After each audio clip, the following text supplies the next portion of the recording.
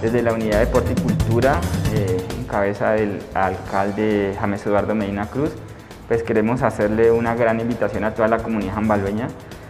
y todo público en general para que se conecte el día 29 de noviembre a partir de las 2 de la tarde, pues el cual vamos a hacer un concierto de música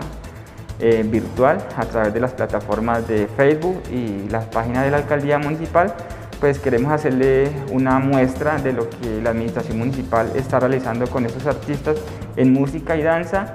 Eh, en estos tiempos de pandemia, eh, la administración municipal ha estado llegando hacia ellos por diferentes medios.